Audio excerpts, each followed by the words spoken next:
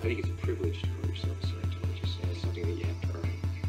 And because a Scientologist does, he or she has the ability to create new and better realities and improve conditions.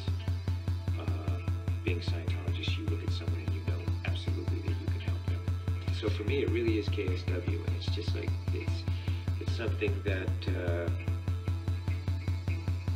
I don't mince words with that. I don't mince with anything. But that policy to me has really gone. Boy, and I, I. There's a time I went through and I said, you know what?